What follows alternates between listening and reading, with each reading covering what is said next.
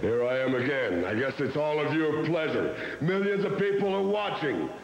Who is Jos LeDuc? The man that pulls car. The man that owes 20 people with his arm. The man that owns a car against wall with his legs and King Kong Bundy. You think you're big and you're strong. Well, this is Jos LeDuc talking to you when I get in the ring with you, big boy.